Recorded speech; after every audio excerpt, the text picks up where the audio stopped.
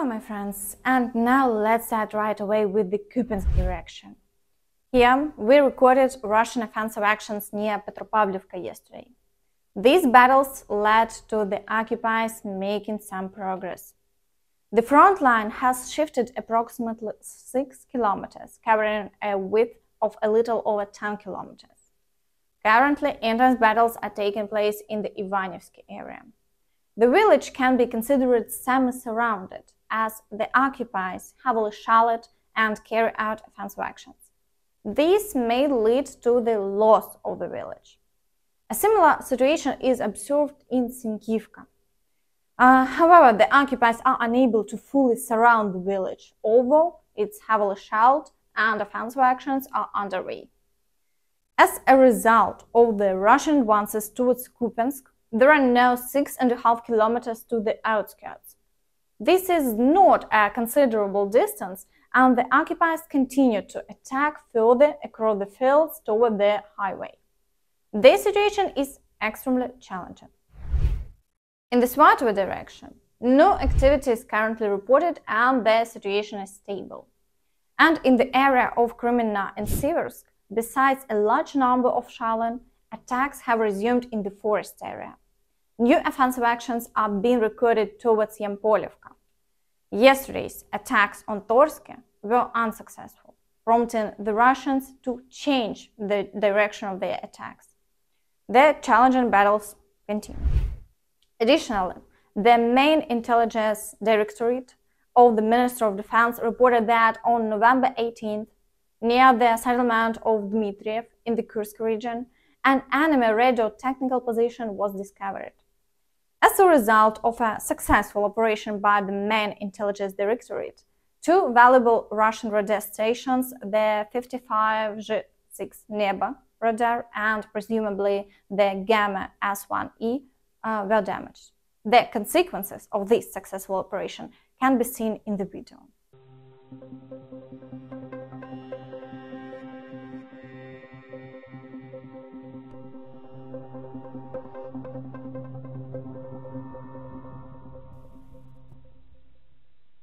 The Bakhmut direction, uh, situation remains challenging in the areas of Klishchiivka and Andriivka.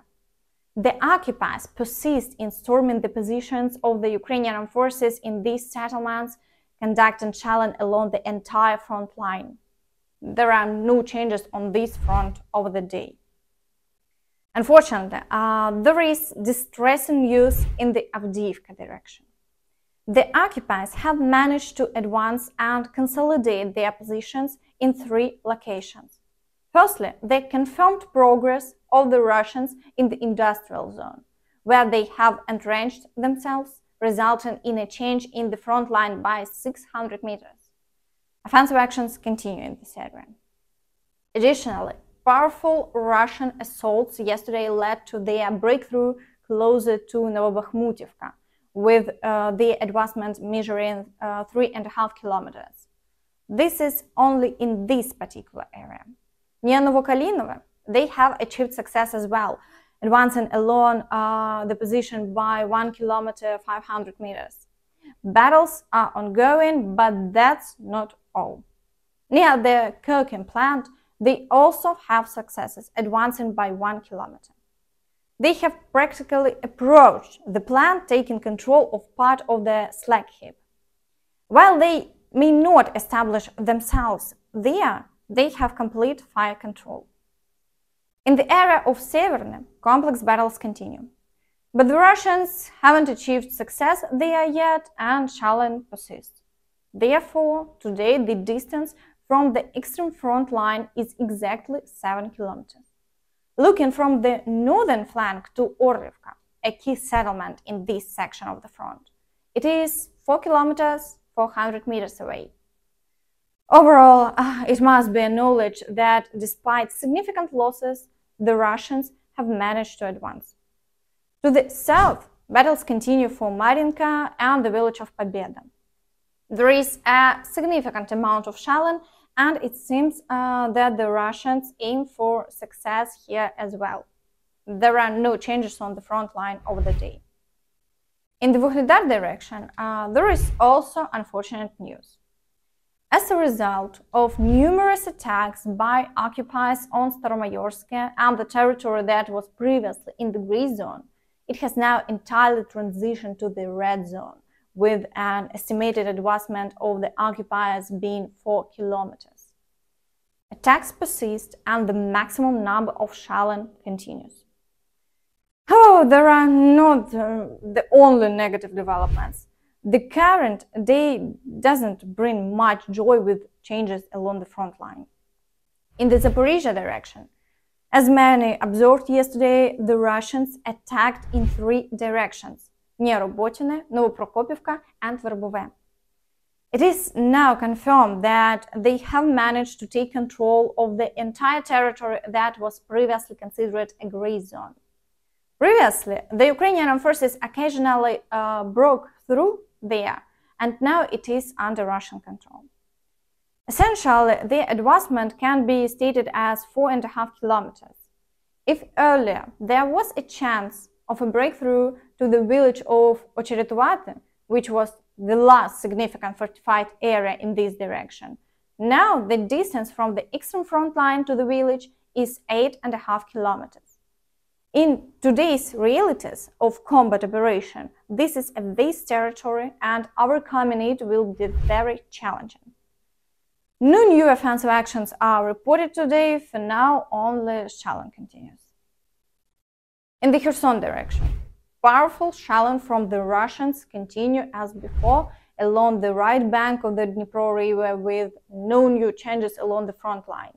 Although the occupiers don't cease reporting that the Ukrainian forces are gradually advancing, and the occupiers who didn't expect such pressure are abandoning their positions.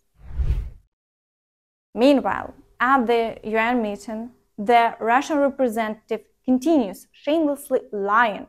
UN members continue to listen, and Russia continues to kill Ukrainians. Сегодня же госпожа Бранскерис не нашла слов, чтобы осудить этот закон. Закон, который сейчас рассматривает украинский парламент, нацелен на запрет древней канонической православной церкви. И вместо того, чтобы бить в набат, требовать его отзыва, вы здесь читаете лекцию о том, как его лучше сформулировать, чтобы он не выглядел столь отвратительно. Кроме того, у вас не нашлось ни одного слова, чтобы осудить использование правоохранительной машины Киева для преследования уважаемых священников.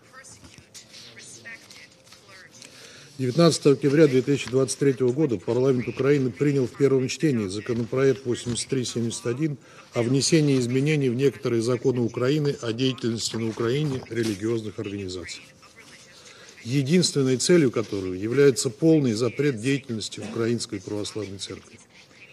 В случае принятия упомянутый закон позволит запретить в судебном порядке деятельность любой украинской религиозной организации в судебном порядке, которая аффилирована с центрами влияния в России. Russia's overwhelming damage Россия нанесла серьезный ущерб многочисленным религиозным объектам, в том числе зданиям православных храмов, о поддержке которых она заявляет. Право на свободу вероисповедания внутри самой России повсеместно нарушается. Все это говорит о том, насколько по-настоящему безразлична Россия к вопросу свободы религии. Тревожно осознавать, что Россия пытается оправдать свои преступления и нарушения законов, описывая свою военную агрессию как священную войну между добром и злом, в дополнение к придуманному предлогу дорогу у денацификации Украины. К нам необходимо видеть за всем этим реальную ситуацию и обратить внимание на хорошо задокументированную систематическую политику религиозных репрессий на оккупированных Россией территориях. Так хочете, щоб все це закінчилось. Так хочете, щоб всі були жесі, щоб люди між собою не сварились, щоб стигли.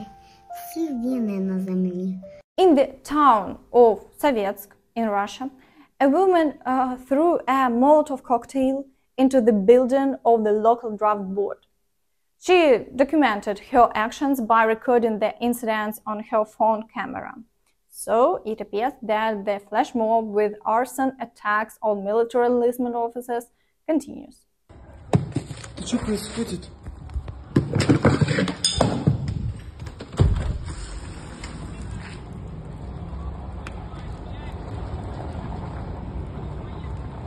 А что здесь происходит? Today is also the 81st birthday of the American leader Joe Biden, and we congratulate him on this occasion.